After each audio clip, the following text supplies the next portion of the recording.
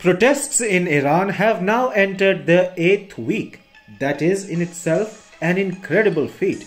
Iran is known to suppress dissenting voices, especially public demonstrations. Yet, the anti regime protests being led by women this time are showing no signs of dying down. Instead, Iran has been left red faced before the whole world, and its atrocities against protesters have shocked people in various parts of the globe. Tempers within Iran's clergy are running high, and the Shiite nation is now threatening to unleash chaos across the Middle East. Hello and welcome. This is Sanbir Singh Ranhotra, and you're watching Firstpost.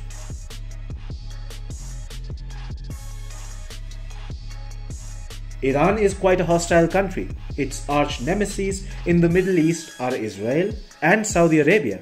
Iran has accused foreign powers, including Saudi Arabia, the US, and Israel, of orchestrating the mass anti regime protests in the country. Iran has started believing its own claims now. Rather than working to give Iranian women the rights they've been asking for, the country's regime now believes that all the unrest is being caused by foreign powers. And these foreign powers are about to be punished for what they're up to. Iran's making no secret of its violent plans. Iran's intelligence minister told Saudi Arabia on Wednesday that there is no guarantee of Tehran continuing its strategic patience any longer. Intelligence Minister Ismail Khatib was quoted by news agency Fars as saying, Until now, Iran has adopted strategic patience with firm rationality, but it cannot guarantee that it will not run out if hostilities continue.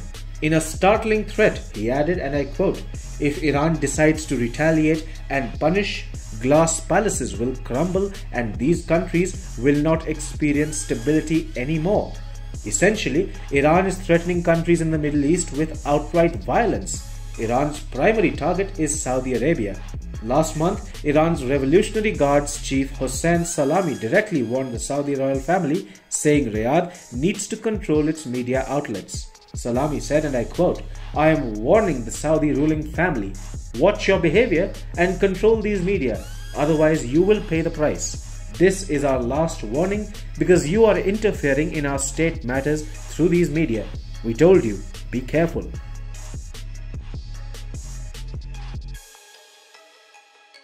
Last week, Saudi Arabia had shared intelligence with the United States of Iran planning to carry out an imminent attack on Saudi soil. The US said it was in constant touch with the Saudis regarding the threat posed by Iran and that Washington will not hesitate to act in the defense of our interests and partners in the region. Both Saudi Arabia and the United States are worried that Iran is very close to striking energy infrastructure across the Middle East. If successful, Iran would be plunging the world deeper into an energy crisis. The war in Ukraine has upended energy markets in any case. Middle Eastern energy infrastructure being attacked will have a devastating impact on oil supplies and prices. Iran's Islamic regime faces its biggest challenge yet in the form of the ongoing protests. The clerics haven't seen anything like this since the 1979 Islamic revolution that brought them to power and Iran's agencies are failing to subvert the protests.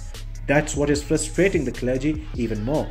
So, an obvious outlet for Iran to vent its anger is the Middle East, a region Tehran now seems keen to set on fire. Do you think Iran will be able to carry out attacks across the Middle East?